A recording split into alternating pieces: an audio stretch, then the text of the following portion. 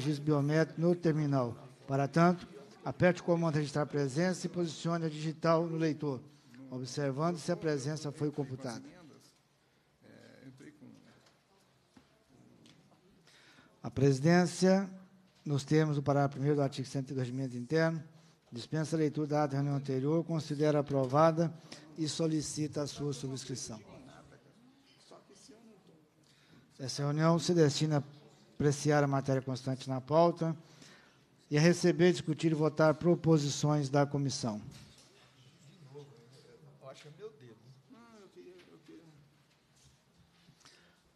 Passa-se a primeira, primeira fase do dia, compreende a discussão e votação de pareceres e proposições sujeitas à apreciação do plenário.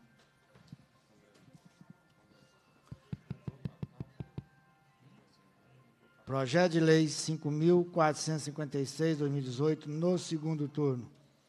Dispõe sobre a instituição do Fundo Extraordinário do Estado de Minas Gerais, FEMEG, e da outras providências. O processo tem regime de urgência de autoria do governador Fernando da Mata Pimentel. Relator, deputado João Magalhães.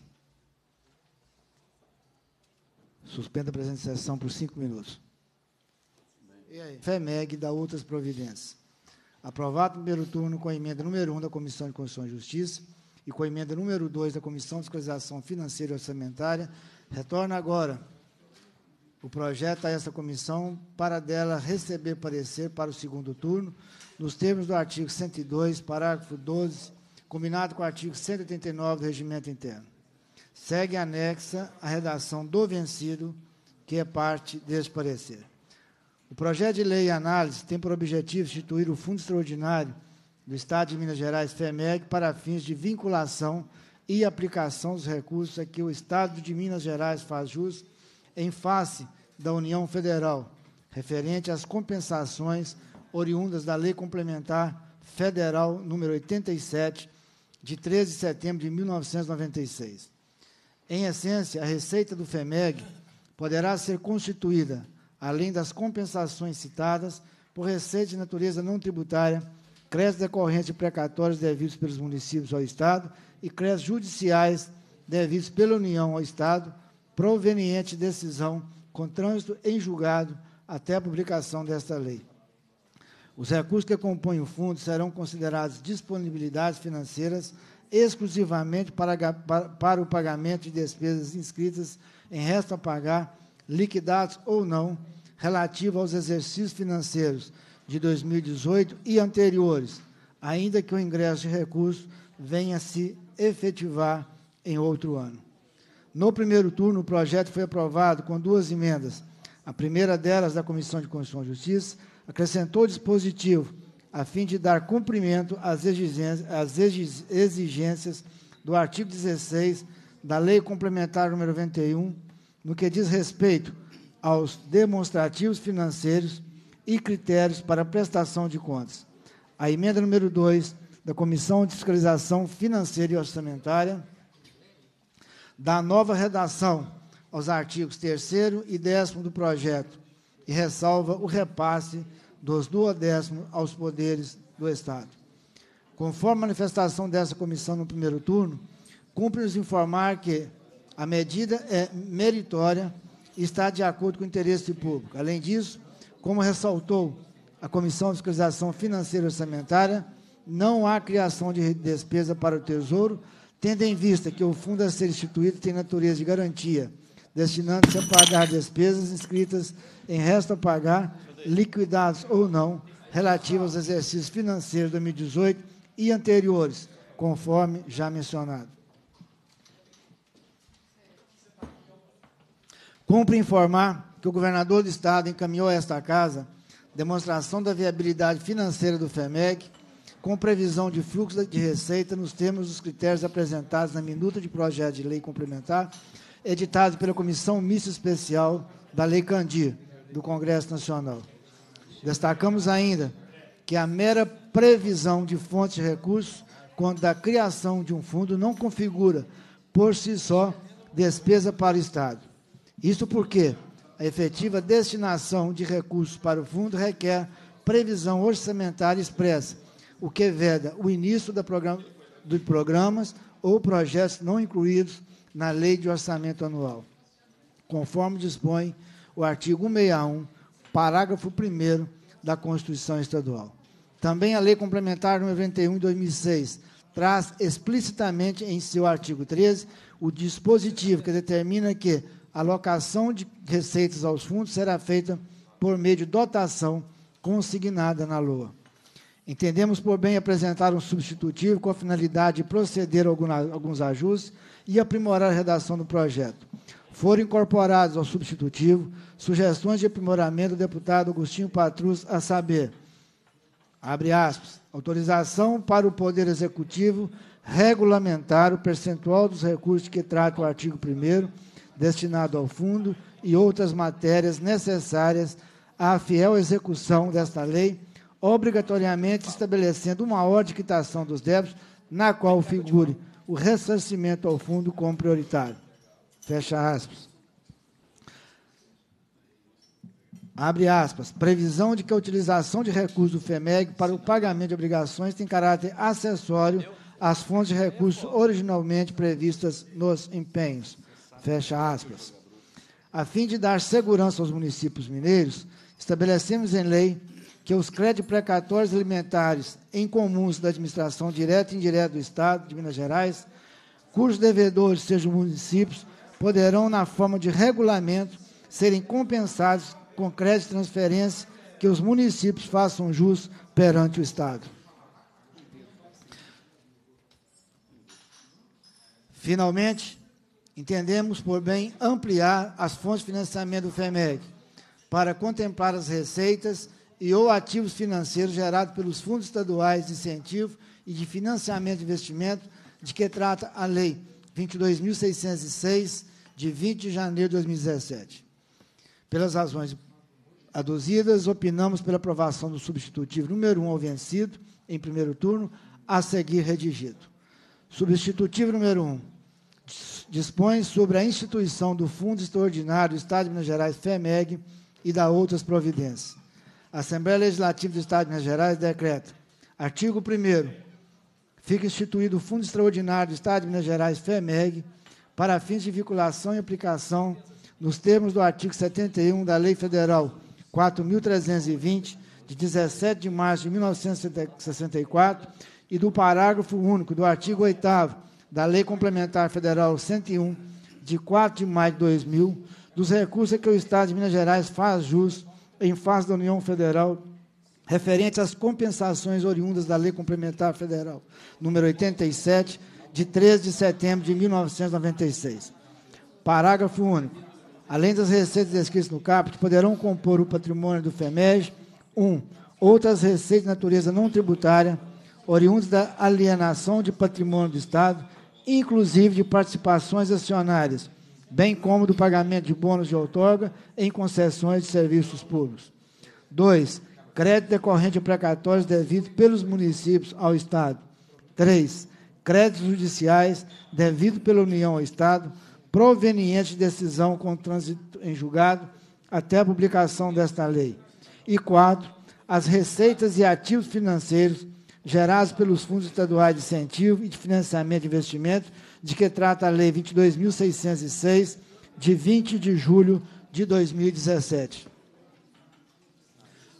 A Constituição do FEMEG considera para todos os fins o disposto na resolução da mesa da Assembleia número 5.513, de 12 de dezembro de 2016, que reconhece o estado de calamidade pública de ordem financeira do Estado de Minas Gerais nos termos do decreto 47.101, de 5 de dezembro de 2016. Artigo 3 Os recursos que compõem o FEMEG serão considerados disponibilidades financeiras exclusivamente para pagamento de despesas que restam pagar, liquidados ou não, relativos aos exercícios de 2018 e anteriores, ainda que o ingresso venha a se efetivar em exercício financeiro distinto nos termos do parágrafo 1 do artigo 8 da Lei Complementar Federal 101 de 2000, ressalvados os repassos do ODS devidos aos poderes do Estado. Parágrafo único.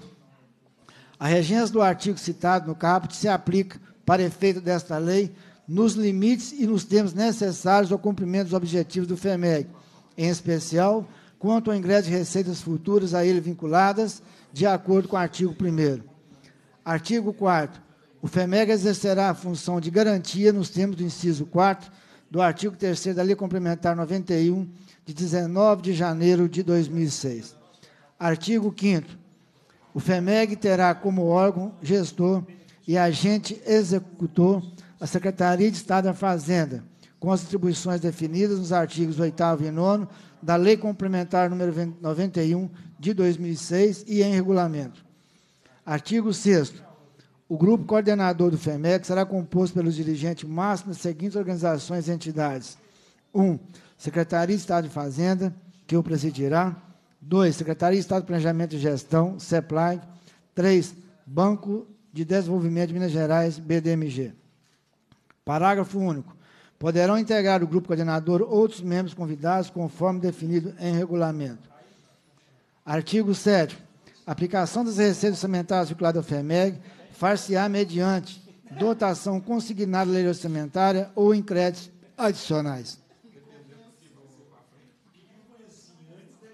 Tem emenda já? Tem emenda já?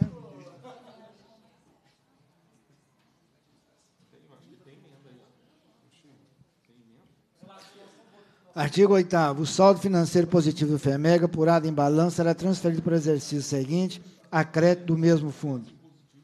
Artigo 9 Para fins de controle do ingresso e da vinculação dos recursos que compõem o FEMEG, o Poder Executivo celebrará termos de compromisso previstos na legislação federal e estadual, quando necessário. Artigo 10 Os, demonstra os demonstrativos financeiros e os critérios para prestação de contas do FEMEG obedecerão ao disposto na Lei Federal 4.320, de 17 de março de 1964, nas normas estabelecidas pelo Tribunal de Contas do Estado e nos demais atos normativos aplicáveis. Artigo 11.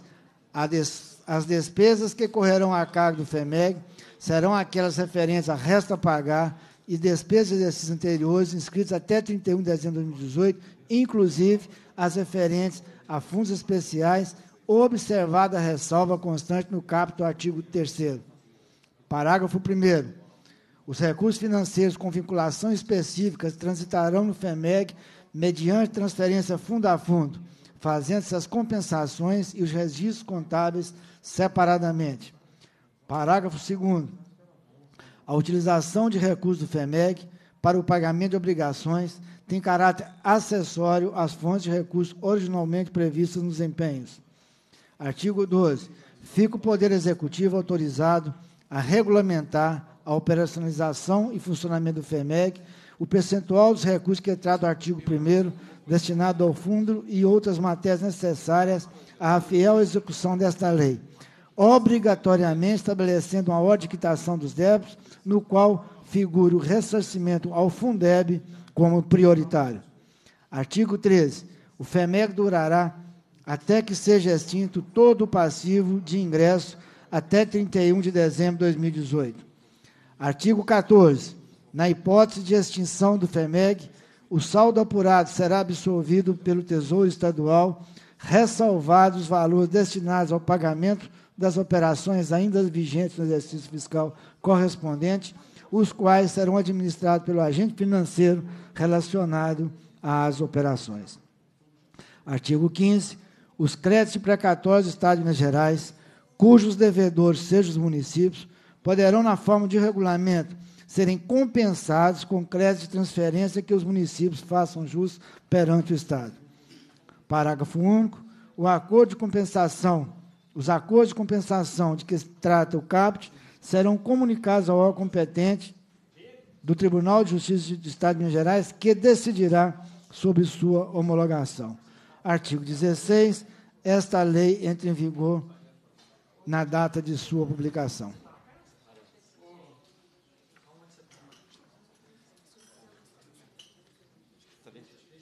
Do lado nosso, Gilberto Abramo, presidente da MME, Gilberto.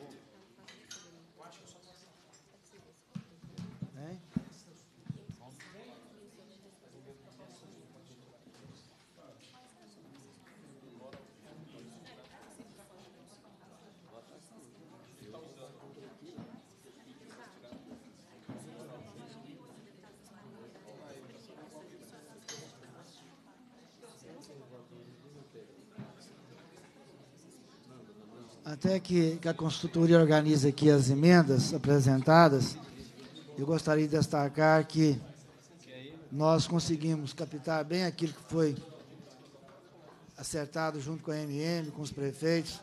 Eu acho que a gente conseguiu contemplar aqui no, no bojo do projeto de lei, tanto a questão da, da compensação dos precatórios né, devidos pelos municípios ao Estado, como a questão da prioridade do fundo que está abarcada no artigo 12. E eu quero aqui ler novamente fica o Poder Executivo autorizado a regulamentar a operacionalização e funcionamento do FEMEC, o percentual dos recursos que trata o artigo 1 destinado ao fundo e outras matérias necessárias à fiel execução desta lei, obrigatoriamente estabelecendo uma ordem de quitação dos débitos, na qual figure o ressarcimento ao Fundeb como prioritário. Presidente. Só um minutinho, vou abrir discussão já já.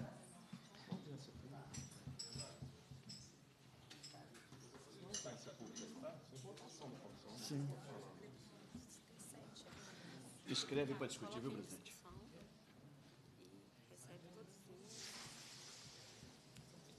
Em discussão. Sobre a mesa, proposta de emenda Proposta de emenda número 1 ao projeto de lei 5456-2018. Acrescente-se ao ter, artigo 3 do projeto o seguinte parágrafo. Artigo 3 Parágrafo.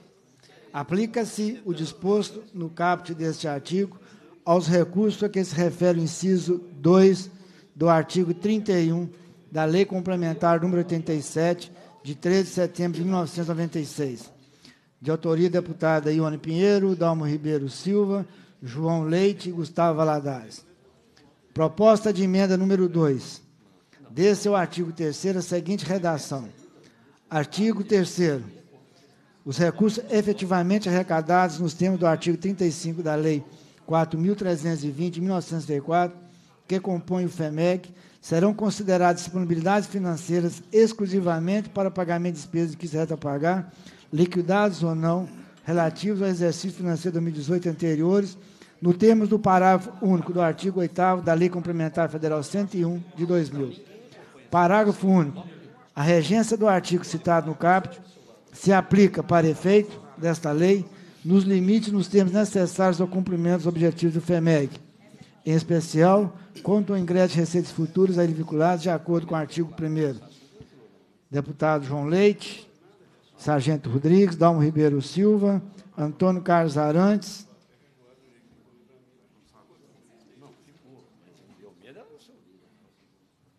De quem que é esse aqui? Não sei. Gustavo Aladares. Não, não. É, é assim. Não. Ali ficou redondo.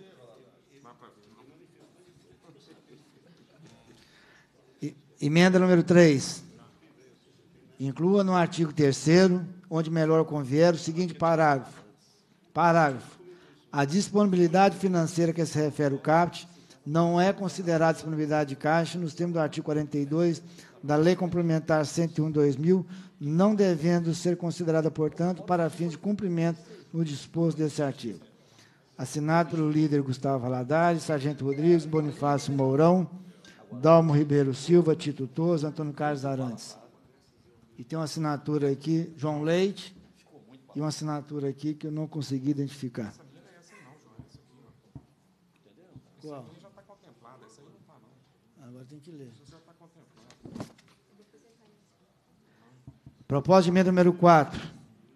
O caput do artigo 11 do projeto de lei 5.456 de 2018 passa a ser o seguinte: artigo 11 fica o Poder Executivo autorizado a regulamentar a operacionalização e funcionamento do FEMEG, o percentual dos recursos que trata o artigo 1 destinados ao fundo e outras matérias necessárias à fiel execução desta lei, obrigatoriamente estabelecendo a ordem de quitação dos débitos, na qual figura o ressarcimento ao Fundeb como prioritário. Autor, deputado Agostinho Patrus. Proposta de emenda número 5. Acrescente ao artigo 10 do projeto de lei 5456-2018 o seguinte parágrafo 2 renumerando-se seu parágrafo único. Artigo 10, parágrafo 1 parágrafo 2 A utilização de recursos do FEMEC para o pagamento de obrigações tem caráter acessório às fontes de recursos originalmente previstas nos empenhos. Também do deputado Agostinho Patrus. Proposta de emenda número 6. Acrescentes onde convier. Fica autorizado por, o executivo autorizado a promover a compensação financeira de débitos e crédito do Estado com os municípios liquidados até o prazo previsto no artigo 10 dessa lei. Autor, deputado Jean Freire. Proposta de emenda número 7. Acrescente no artigo 3 o seguinte parágrafo 2 transformando-se o parágrafo único em, em parágrafo 1 Abre aspas. Terão prioridade no pagamento os municípios com menor índice de desenvolvimento humano, IDH. Também de autoria do deputado Jean Freire. E proposta de emenda número 8. Acrescente onde convier. Abre aspas. Artigo. Os repasses aos municípios dos valores assegurados pela Constituição da República, nos termos do artigo 158, serão automáticos e não poderão ser alvo de retenção ou bloqueio pelas instituições bancárias. De autoria do deputado Cássio Soares e deputado Agostinho Patrus.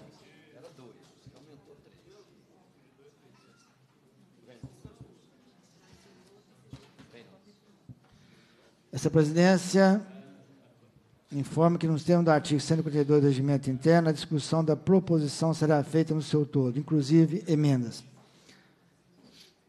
Continua a discussão, concedo a palavra ao primeiro orador inscrito, deputado Sargento Rodrigues. Obrigado, presidente. Eu queria aqui cumprimentar a todos os colegas deputados que se fazem aqui presentes. Cumprimentar aqui o presidente da MM, né, o prefeito Gilvan Lacerda, pessoa do qual cumprimento a todos os demais prefeitos que estão aqui hoje no plenarinho. Estive agora há pouco ali com o prefeito Denilson, lá de São Tiago, e que veio trazendo aqui a sua narrativa, o seu desespero, como é o caso de todos os prefeitos do Estado de Minas Gerais. Meu voto, os senhores já conhecem, meu voto no primeiro turno. Fui um dos 23 deputados que votou contra. Agora, mais do que isso, nós fizemos um encaminhamento em plenário e eu, por duas vezes, fui à tribuna para encaminhar. Novamente volto à comissão aqui de administração pública para dizer: o projeto continua sendo um estelionato da gestão do governo petista em Minas Gerais. O projeto é o estelionato. E, com todo o respeito que eu tenho aos colegas deputados, nem o substitutivo e nem as emendas aqui apresentadas não corrigem. Dizer que nós vamos autorizar o Poder Executivo a priorizar é a estaca zero que se encontrava lá quando surgiu os primeiros problemas de vocês. Vou repetir novamente. Esse projeto, ele só serve para a única coisa. Deputado Gilberto Abramo apenas para tentar livrar a cara de Fernando Pimentel, mais nada. Ele não traz nenhuma obrigatoriedade em que nós poderíamos tra é, trazer aqui uma robustez jurídica de uma imposição forte e que assegurasse pagamento amanhã da dívida de vocês, ou daqui uma semana, ou daqui 15 dias, 30 dias. Não existe nada no projeto. A única coisa que a gente viu, já é de conhecimento de todos, o jornal o Tempo também publicou, me parece que na data de ontem, o jornal o Tempo trouxe a notícia descrevendo aquilo que nós já sabemos, Gilberto. O atrelamento a receitas futuras e incertas. Futuras e incertas. Porque a lei Candi, ah, não, porque o, o Supremo Tribunal Federal determinou que se faça uma lei. Olha, por mais que a gente respeite o Supremo e as suas decisões, neste caso, neste caso, a lei não foi feita e nem será. Porque isso é a mesma coisa do prefeito dar ordem para a Câmara fazer uma lei. Faz uma lei. Não é assim. Não é governador que vai falar assim, faz uma lei aqui, ou o Tribunal de Justiça, faz. Não. Não é assim, não. Primeiro que você já fere a independência dos poderes. Então, ah, faz uma lei aí para corrigir essa falha aqui, porque o Estado de Minas Gerais tem um crédito tal. O que o governo quer, vou repetir para os senhores prefeitos que estão acompanhando aqui pela TV Assembleia, os que estão no interior e os que estão aqui presentes, é um estelionato da gestão. Eu estava aqui acompanhando, ah, não, porque fez referência à resolução da mesa que trata do estado de calamidade, até a resolução da mesa. O parecer é tão frágil, tão fraco, deputado Gilberto Abramo, que até citar o parecer da resolução da mesa falando do estado de calamidade financeira. Porque o que nós temos que colocar aqui em pauta é o seguinte: o que está sendo colocado aqui é um ajeito para amanhã. O cidadão escalado, o Pimentel já escalou lá no Tribunal de Contas. Durval Anjo já está lá para pagar a conta, a dívida de ter sido indicado por Fernando Pimentel para estar lá falando assim, nós temos uma lei aqui estadual que assegura. Então aqui nós podemos votar no Tribunal de Contas. É como se estivesse levando o habeas corpus para o Tribunal de Contas de Fernando Pimentel. Então ele vai falar assim, no Tribunal de Contas eu fui isento. Ponto. Acabou. Aí o judiciário vai falar o quê? Olha, o governador sabe que se ele deixar de repassar ICMS e PVA, ele vai sofrer sanção criminal. E aqui o que estão tentando fazer com esse projeto é livrar ele da sanção penal. Olha o desespero. Um governador que deixou a administração pública completamente estraçalhada. Quer mais? Olha aqui, botaram novamente. Eu chamei esse moço da tribuna de maior 171 que negociava com as entidades de classe tal de Carlos Calazans. Aí colocou ele sexta-feira, no final do expediente, para que nem a Assembleia tivesse reação da tribuna. Para dizer que vai pagar uma parcela de dois mil reais dos servidores públicos. No dia 14, era 3 mil. Para finalizar. Baixou para dois. E o décimo terceiro, que se lasque. Os senhores prefeitos acreditam que Fernando Pimentel tem um mínimo de respeito e preocupação com os senhores, faltando 20 dias para acabar o mandato dele? Ele está preocupado, sabe o quê? Em ser secretário de Estado lá na Bahia, como lembrou que o deputado João Leite, esses dias na tribuna da Assembleia, do plenário, e o resto que se lasque, os senhores que se dane, os senhores que vá para o judiciário. Esse projeto não traz nada de novo para os senhores prefeitos ele é um engodo, ele é enganação, ele é desrespeito aos senhores e os deputados que estiverem realmente preocupados com os senhores prefeitos vão dizer não aqui e vão dizer não lá, lá no plenário. Lá vai ter que dizer não. Por quê? Porque eu volto a repetir: o projeto é um engodo, é um estelionato. Não resolverá. Estou autorizando o Poder Executivo a priorizar as receitas do Fundeb. Qual foi a imposição? Nenhuma. Agora, Fernando Pimentel, ele tem sobre a, a, a, a determinação enquanto administrador público, a Constituição Federal e a Constituição do Estado. Cota parte de município não é favor. Ah, deputado, mas já depositou 200 milhões. É algum favor?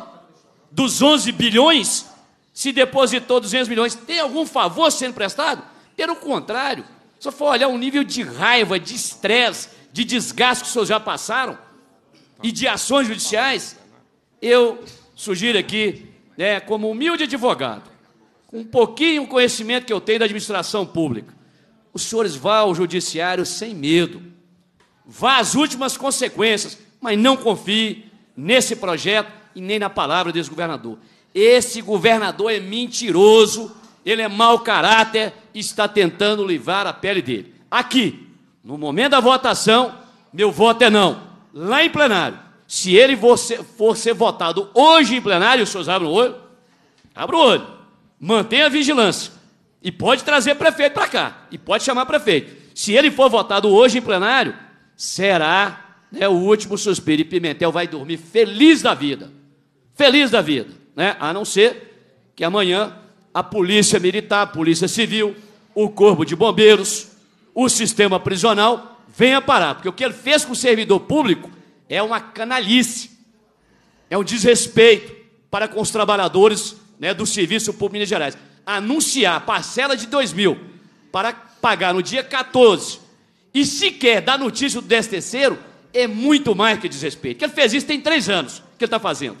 Ele está fazendo isso tem três anos. Mas o que ele fez agora é um desrespeito sem precedente na história do Estado de Minas Gerais. Volto a repetir: o projeto em pauta é um estelionato, é uma única tentativa de livrar a pele do governador Fernando Pimentel, que sequer, até hoje, não demitiu nenhum cargo comissionado da companheirada do PT. Nenhum. Ele teve oportunidade. Ele veio lidando com esse problema há muito tempo. Os senhores estão batendo na porta dele há muito tempo. Qual foi a medida que ele tomou? Nenhuma medida. Nenhuma medida de austeridade, como qualquer gestor responsável faria.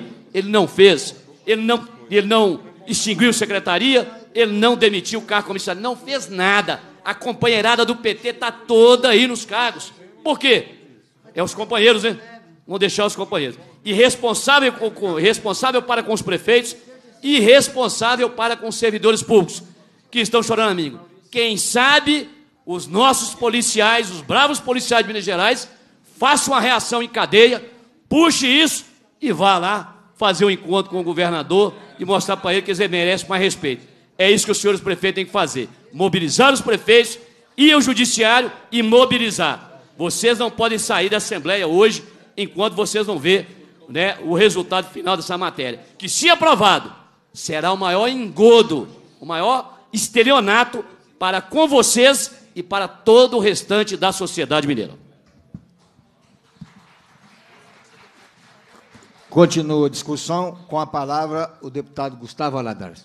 Serei breve, senhor presidente, até porque o deputado Sargento Rodrigues já falou em nome do nosso bloco, que vem sistematicamente, desde o momento em que esse projeto chegou à Assembleia Legislativa, dizendo qual é a única e exclusiva razão do projeto estar tramitando, ainda mais em regime de urgência aqui na casa. Ele só tem um objetivo: livrar a pele do governador, em especial com relação ao artigo 42 da Lei de Responsabilidade Fiscal.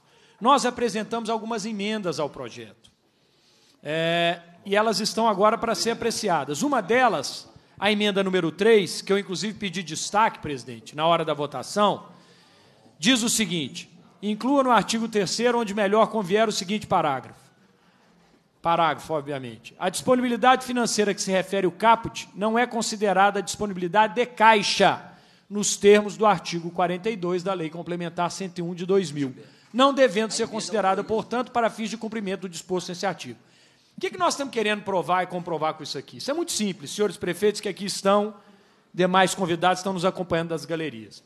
Se esta emenda for aprovada, com o voto dos deputados governistas, a razão da criação do fundo é resolver o problema com os senhores e com aqueles que têm crédito para com o governo.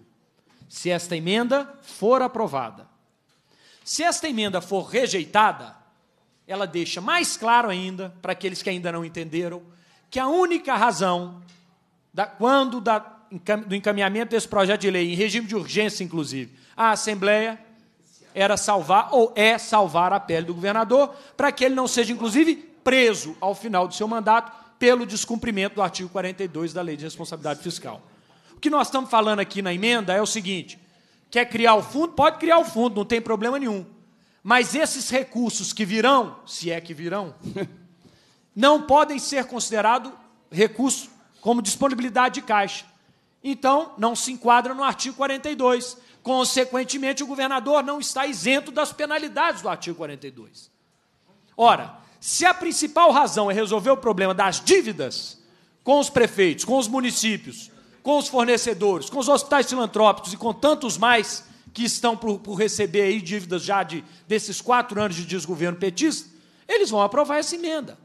Se ela for rejeitada, é sinal de que nenhum dos senhores são importantes para essa gestão. O que, na minha opinião, é chover no olhado, porque já fazem dois anos que eles descumprem preceitos constitucionais, normas constitucionais.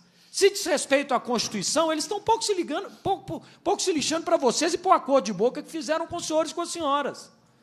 Então, eu quis chamar a atenção, e, e, e nós estamos num momento de discussão, né? não estamos encaminhando ainda não. Discussão. Em discussão. Então, eu fiz esse, esse, essa, estou participando dessa discussão para chamar a atenção. É muito simples. Se esta emenda de número 3 for aprovada, a razão única da criação do fundo é a solução do problema da dívida do Estado para com os municípios e com os outros que têm crédito a receber. Se ela for rejeitada, a razão é a que, para mim, é, já desde o início da tramitação desse projeto, a única razão da criação desse projeto: salvar a pele do governador das penalidades, inclusive prisão, da lei de responsabilidade fiscal, impostas a quem? Produz despesas nos dois últimos quadrimestres e não tem dinheiro, disponibilidade de caixa para, para quitá-las até o final do seu mandato. No mais é isso, presidente. Muito obrigado. Continua a discussão. Com a palavra, o deputado Antônio Carlos Arantes. Na sua ausência. Na sua ausência, o nosso deputado Noraldino Júnior.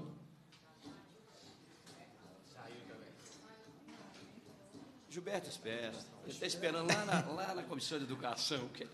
Na sua ausência, o deputado Gilberto eu Presidente, eu também quero ser rápido na minha fala, apenas para discordar um pouco aqui do deputado Gustavo Valadares, porque uma vez apresentando uma emenda a um projeto que não faz sentido, para mim é inócuo.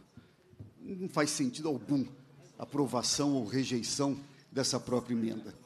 Agora, é, o- não quero ser repetitivo, Sargento Rodrigues, mas o que me estranha é justamente a MM acreditar em Papai Noel, mula sem cabeça, acreditar nessas lendas.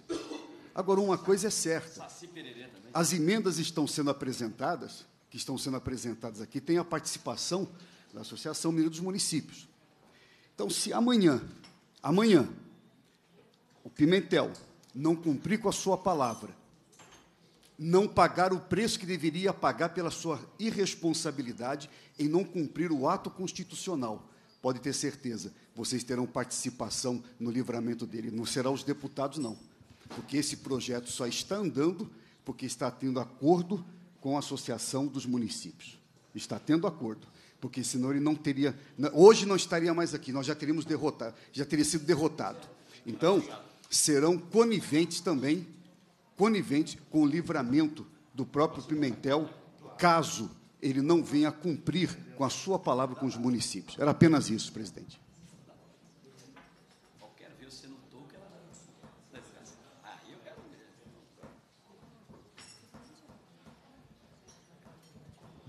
Nós vamos suspender a reunião por cinco minutos. com duas alterações. A primeira delas, dar-se-á no artigo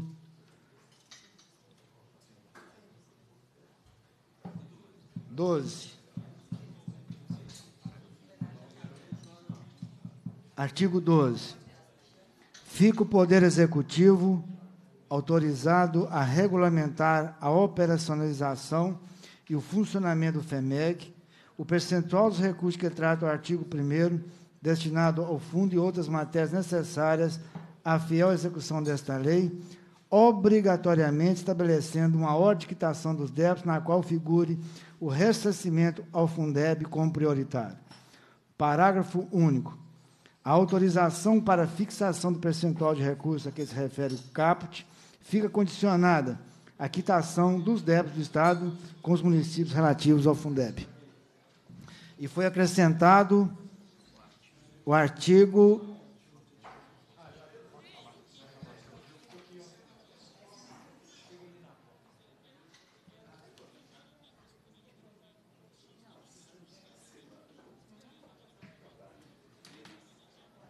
Vocês não acrescentaram. Bela.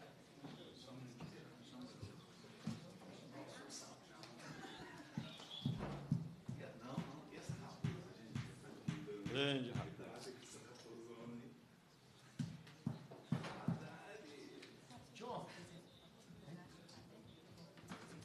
Agora acabou agora acabou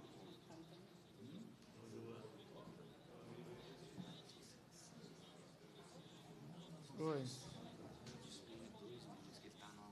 Não, pega, pega lá que eu leio aqui. Cadê, cadê, minha? Cadê, cadê a conta? Cadê o último número? Entrar com artigo. Vai ser o artigo. Qual artigo? Vai ser o 16. O artigo 16. Deixa eu pegar ele.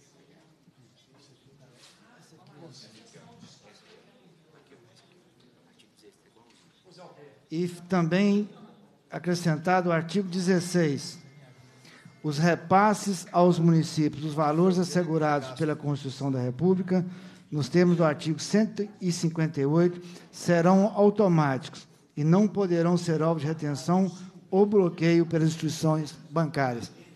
Isso aqui resguarda a questão da automaticidade. Não haverá mais retenção de repasses de PVA, nem ICMS, nenhum tributo compartilhado.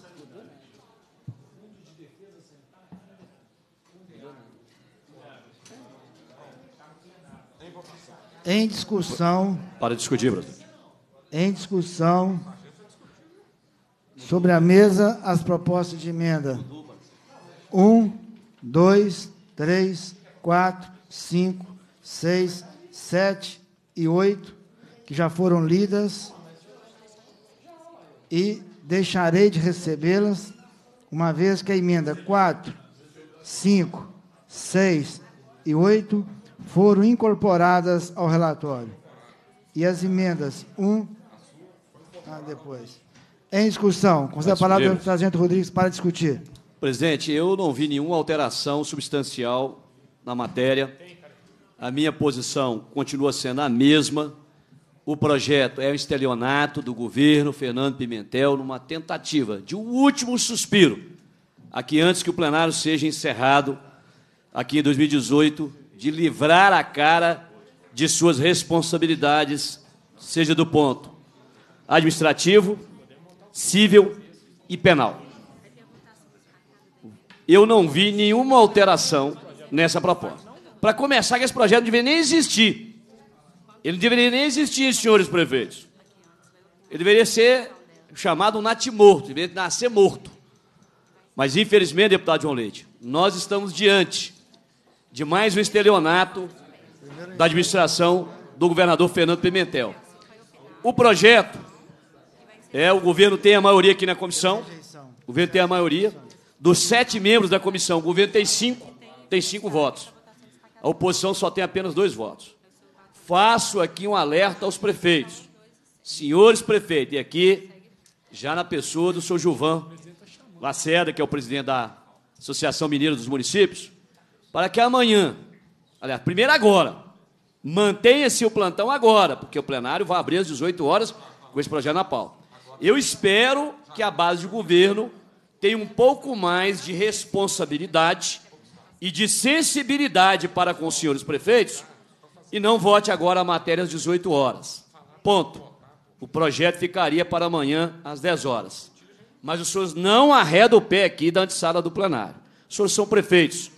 Né? Os senhores têm todo o nosso respeito né? e o direito de acompanhar a votação na antessala do plenário. Eu sou um dos deputados mais burricidos que tem aqui por causa dessa entrada das pessoas na antessala do plenário. Mas os senhores são prefeitos, são gestores. Os senhores têm que ter o nosso respeito e o nosso acolhimento ali na antessala do plenário para acompanhar a votação, se ela houver. Se ela houver.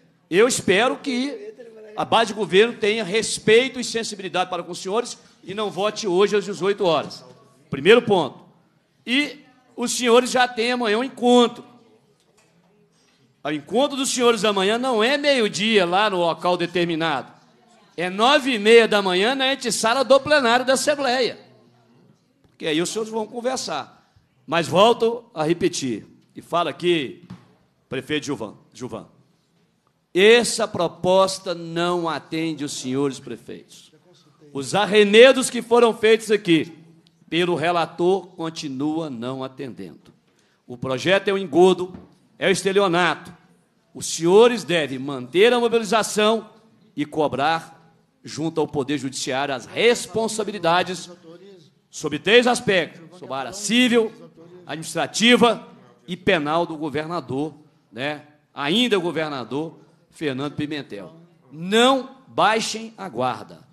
Não baixem a guarda.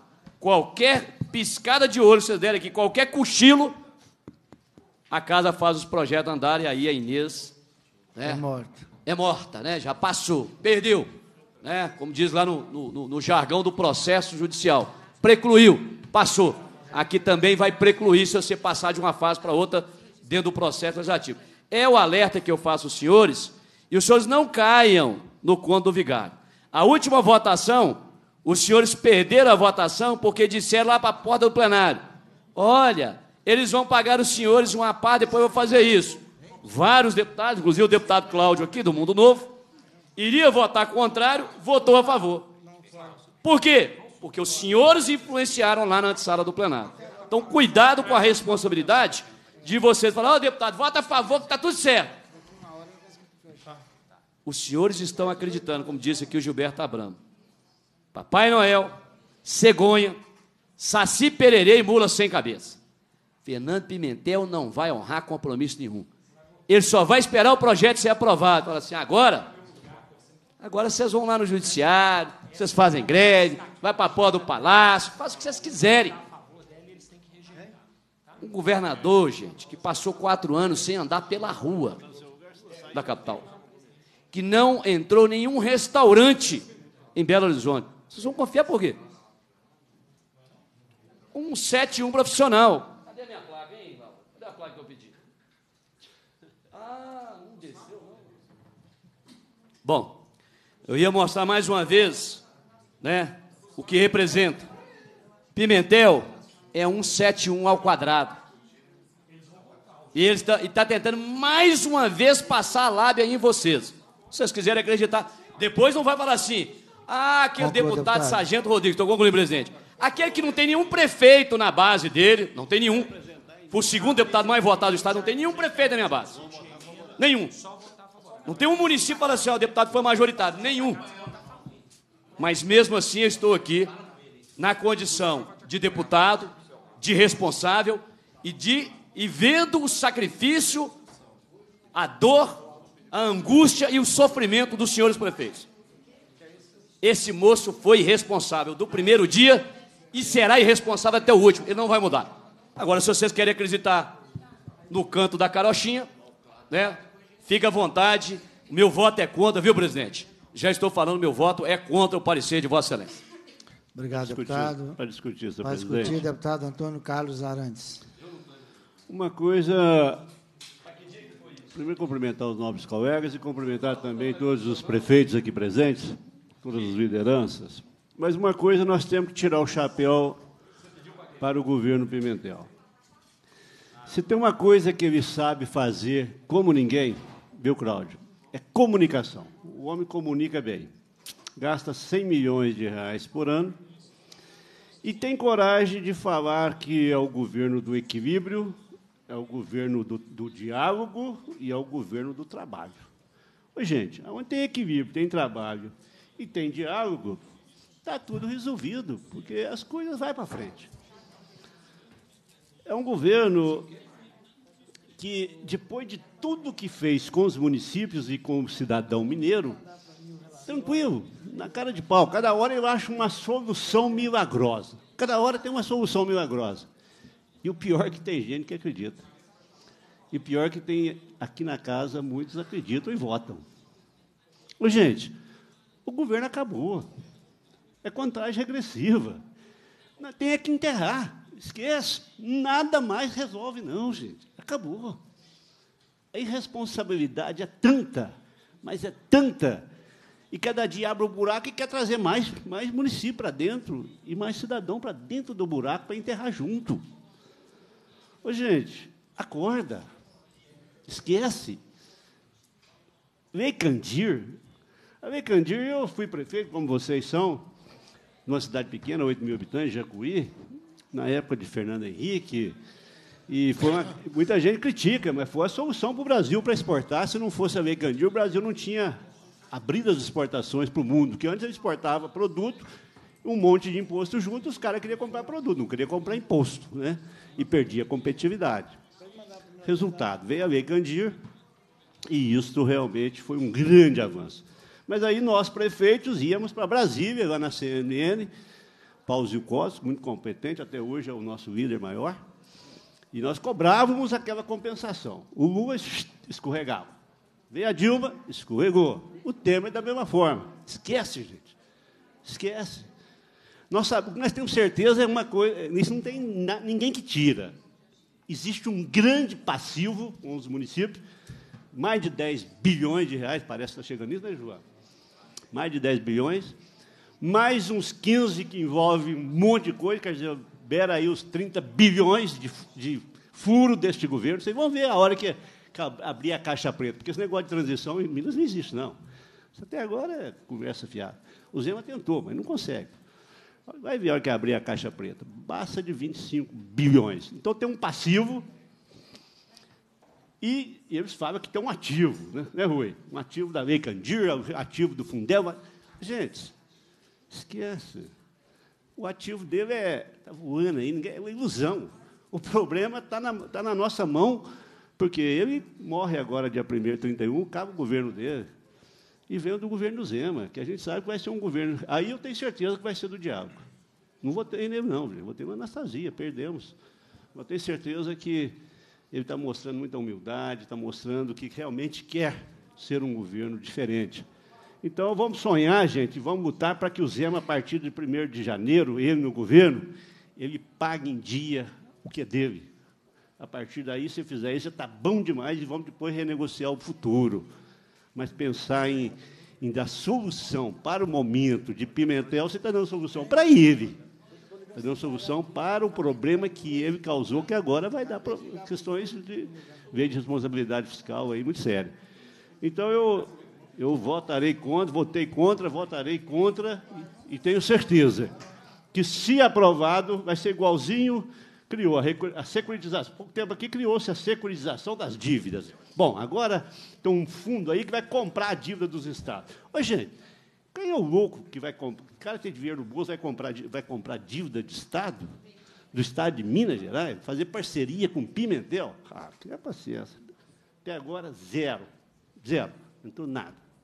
Quer dizer, todas as. Ah, vamos vender a cidade administrativa, vamos vender escola, vamos vender isso, vamos vender aquilo. Essa era a solução que ele tinha para arrumar 7 bilhões. Primeiro, que se fizesse isso, dificilmente ele ia conseguir vender. Segundo, que quem comprasse não ia entregar também. E terceiro, que não era solução para ninguém. Então, esse é o governo da ilusão, é o governo das fantasias, e estamos aqui há 20 dias ainda dando sobrevida e falando de Pimentel, valorizando ele. Hoje, esquece. O Pimentel acabou. Acabou. Falta 20 dias, contagem regressiva, vamos pensar numa nova Minas Gerais. Muito obrigado. Para encaminhar, para discutir a matéria, deputado do Bosco. Presidente, de forma bastante breve, eu não poderia aqui, neste momento, nesta comissão, onde se discute aqui várias emendas, e não sei se de fato essas emendas vão resolver a situação ou vão prospectar algo positivo para dar uma resposta aos prefeitos que aqui estão e tantos outros que haverão de estarem aqui amanhã. Mas eu quero aproveitar dessa oportunidade para fazer aqui né, um manifesto né, de solidariedade a todos os prefeitos aqui presentes. Faço aqui através do meu prefeito Agnaldo, da minha querida cidade Cruzeiro da Fortaleza. Faço através do meu amigo, parceiro Adílio, da querida cidade de Guimarães, o John Hércules de Pratinha. Quero, através deles, abraçar todos os prefeitos, presidente, vice-presidente da MM aqui. E nós que vivemos lá no interior, onde as coisas de fato acontecem, porque a gente sabe que o Estado, a União são entes virtuais, que a realidade mesmo dos fatos e o acontecer do dia a dia é lá nos municípios. É lá que o prefeito tem que manter as suas escolas de portas abertas, é lá que o prefeito é, tem que oferecer um social para atender, sobretudo, as famílias mais carentes e o transporte do dia a dia dos alunos. Então, realmente, caros colegas deputados, a situação não é uma situação simples, a gente sabe disso. A situação é muito mais complexa do que a gente imagina. E não quero aqui apontar dedos para quem quer que seja, para o atual governo, para os governos passados, mas é necessário, presidente, em 2020, nós não vamos conseguir pessoas com gabaritos, com gabarito, com condições, com competência, para se candidatar a prefeito em qualquer município desse estado. Porque se tornou agora uma, um fato normal a gente ouvir de determinados prefeitos que estão pensando até, Gilvan, em renunciar seus mandatos. Não por incompetência, não por falta de inteligência de gestão, mas por desânimos. Outros, com que eu conversei hoje, agora há pouco, estão repensando se vão ser candidatos novamente à reeleição em 2020, porque estão realmente desanimados. Então nós temos que mudar essa situação, nós temos que fazer com que os nossos municípios sejam municípios fortes, municípios que tenham realmente condições de oferecer o melhor para a sua gente. Então, presidente, eu quero aqui aproveitar dessa oportunidade para manifestar esse voto aqui de solidariedade. E quero aqui, quero aqui fazer um apelo a todos os deputados aqui presentes e aqueles que estarão presentes conosco daqui a pouco no plenário, quer seja da situação da oposição. Não vamos votar esse projeto hoje. Não há necessidade de votarmos esse projeto hoje. Se votarmos amanhã, depois de amanhã, o efeito será o mesmo. Não vai fazer diferença. Visto que os prefeitos vão estar, ou pelo menos está previsto, a grande maioria, se encontrarem aqui em Belo Horizonte amanhã na Assembleia, vamos aguardar essa reunião, esse encontro dos prefeitos, para que aí sim nós possamos votar com convicção, votar com determinação e votar de acordo com a maioria dos prefeitos. Eu votei contrário no primeiro turno nesse projeto. Estou aberto para conversar e ouvir os prefeitos. E aquilo que os prefeitos definirem, na sua grande maioria, eu estarei pronto para votar no segundo turno. Mas é preciso, presidente, caros deputados, dar um tempo para os prefeitos, no mínimo, no mínimo, até amanhã, para que eles possam aprofundar mais sobre a matéria e possam passar uma sugestão a cada um dos seus deputados nessa casa. Era o que eu tinha. Muito obrigado. Presidente. Obrigado, deputado. Relator emite sua opinião sobre as propostas de emenda pela rejeição das emendas 1, 2, 3 e 7. Em votação, encerra essa discussão. Em votação, o parecer, salvo propósito de emenda. As senhoras deputadas e senhores deputados que aprovam nesse como se encontram. Aprovado com voto contrário do deputado Antônio Carlos Arantes, deputado Sargento Rodrigues e deputado Bosco Costa. Requerimento sobre a mesa. Requerimento de autoria do deputado Gustavo Valadares, que solicita.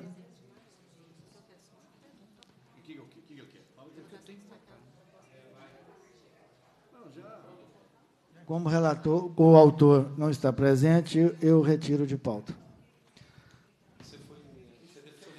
Em votação, as propostas de emenda que receberam opinião contrária do relator. Senhor, senhor presidente. Tem Vossa Excelência a palavra. A emenda número 3, nós estamos votando, essa nós somos favoráveis a esta emenda. Nós não estamos trabalhando contra esta emenda, aqui representando a nossa, a nossa bancada do PSDB. Eu já deixei de receber o requerimento, o autor não estava presente. É só votar. É só para votar. Só está destacando que não vou votar favorável. Isso aí. Vou votar a votação. Em votação, as propostas de emenda que receberam opinião contrária do relator. Os senhores deputados e senhoras deputadas que aprovam permaneçam como se encontram. As emendas foram rejeitadas. Com votos favoráveis, o deputado Sargento Rodrigues, deputado Antônio Carlos Arantes e deputado Bosco.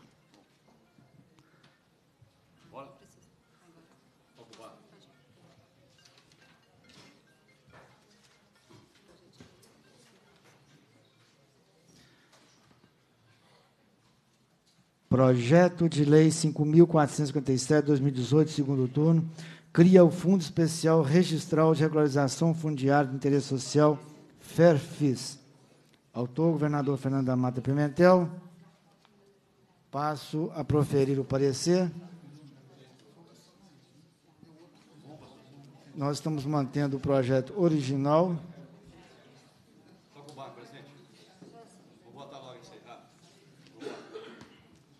Pelas razões induzidas, opinamos pela aprovação do projeto de Lei 5.450 de 2018 na, no segundo turno, na forma do vencido em primeiro turno. Em votação. Os senhores deputados e só os deputados que aprovam, eles se encontram. Aprovado.